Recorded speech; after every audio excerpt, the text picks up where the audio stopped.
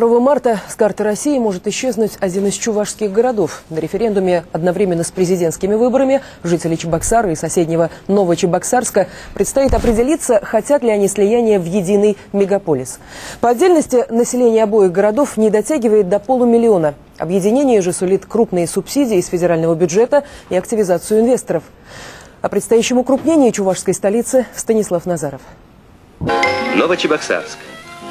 Город-спутник столицы республики.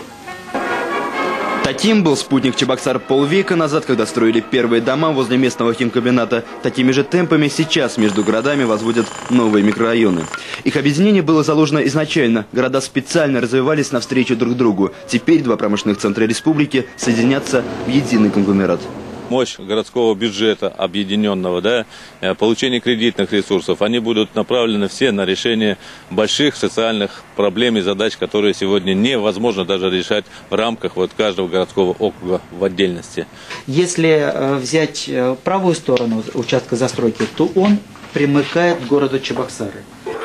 На этих макетах будущая столица Чувашии. Сейчас дизайнеры разрабатывают проект набережной. Между городами находится ГЭС и уровень воды разный. Здесь будут строить в основном малоэтажные здания. Офисы, квартиры, больницы, школы, торговые центры и яхт-клубы на Волге.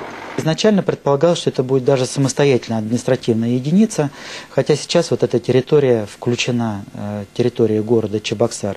Но тем не менее застройка э, идет по принципу самодостаточности. Первую очередь проекты рабочие сдадут к концу года. К осени на этом пустыре появятся дома. Место будущего нового города, который соединит Чебоксары со своим спутником, сильно напоминает всесоюзные стройки 60-х годов. Уже через несколько лет в чистом поле вырастет целый район, где будет проживать 50 тысяч жителей новой объединенной столицы Чувашии. По данным социологов, подавляющее большинство чебоксарцев 2 марта проголосуют «за», а вот мнения жителей упраздняемого города разделились. Думаю, хуже не будет. Столица, само собой, а Новочебоксарск – свой город. Все будет хорошо, мне кажется. Надеемся только на лучшее.